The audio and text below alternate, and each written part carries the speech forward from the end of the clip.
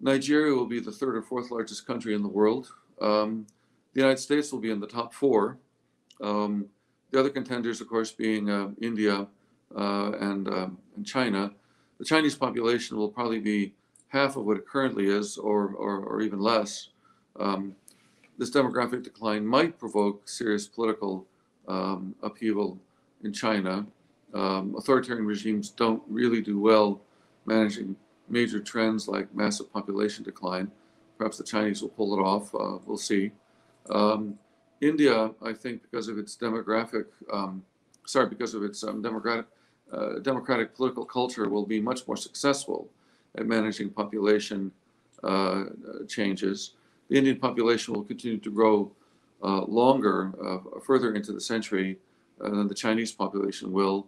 It'll begin to stabilize and fall slightly by the end of the century. But there are scenarios in which, at the end of the century, in 2100, um, India still has over a billion people, and the Chinese population has fallen to 600 million. So that will change the balance of power in Asia significantly. Uh, the Russian population, if current trends continue, will be at 100 million or, or less. Um, uh, depopulation of large areas of Russia will be a, a serious concern. Um, as the population of Africa continues to grow, there'll be a serious possibility of massive population movements from North Africa and Central Africa across the Mediterranean into Europe. Uh, and the, one of the biggest questions facing us will be how the NATO alliance and the European Union deal with that, uh, because these changes are coming. I mean, TFR is falling all across Africa, but it's falling later and more slowly than in other parts of the world. And because demographic trends always occur with a time lag, what this means is that the population of Africa, uh, Nigeria is a great example here, will continue to increase dramatically even as the population of Europe shrinks. Europe, despite uh, the ec economic challenges it will face due to dem demographic decline and technological revolutions, will nevertheless stay remain much more uh, prosperous and advanced than most areas of Africa.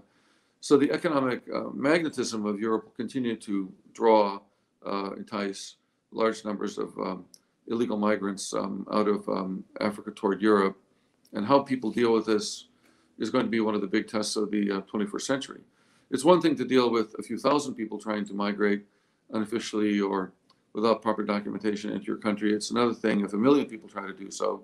Just look at the um, political crisis that was caused in 2015 when uh, the German government inadvertently gave the green light to the immigration of 1.5 million people from the Middle East into the EU uh, from Turkey.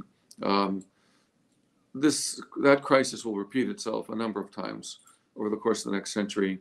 I think it's going to drive the rightward tilt uh, uh, toward nationalism and closed borders um, in Europe, um, and it's going to lead to the remilitarization of the Mediterranean in a major way.